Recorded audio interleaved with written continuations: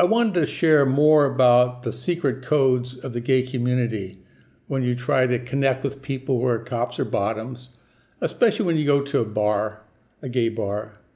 Uh, people would wear their keys on the right side when they were a bottom and they're looking for a top, and they'd wear them on the left side when they were a top looking for a bottom.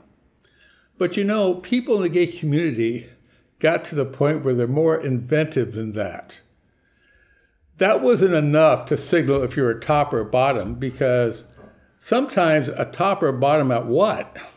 So the gay community got more creative and wanted to signal more about who the person was, not just that they were uh, engaged in a top or bottom, but that they were engaged in top or bottom uh, in oral sex or anal sex or maybe bondage.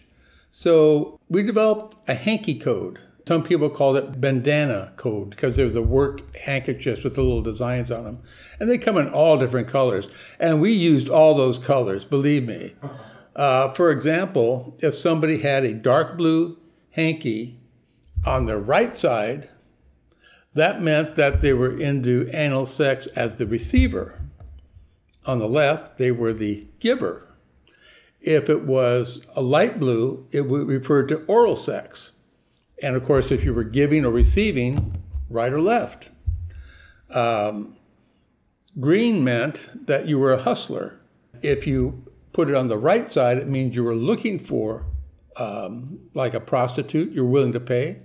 If you had it on the left side, you wanted the money. Um, I know that yellow was in like water sports, gray was in bondage. Uh, and if you wanted to get tied up, you'd wear it on the right side. If you wanted to be the tire and the top, you'd wear it on the left side. And of course, black was like S and M. So um, all those hanky codes were very popular. And I don't see them anymore. I mean, they were used in not so much in the 70s, but in the 80s and 90s a lot. And you could signal exactly what kind of sexual activity you wanted and, and what you were willing to do in that activity. So uh, it was very interesting. It was almost like early on, we gay people would signal uh, that they were gay by having an earring on the right side, and they only had one. If you had two, that meant you were maybe a cross dresser or something. Then the Latino community picked up on that and said, "Oh, that's pretty faddish. Yeah, let's. I'm going to wear an earring, you know."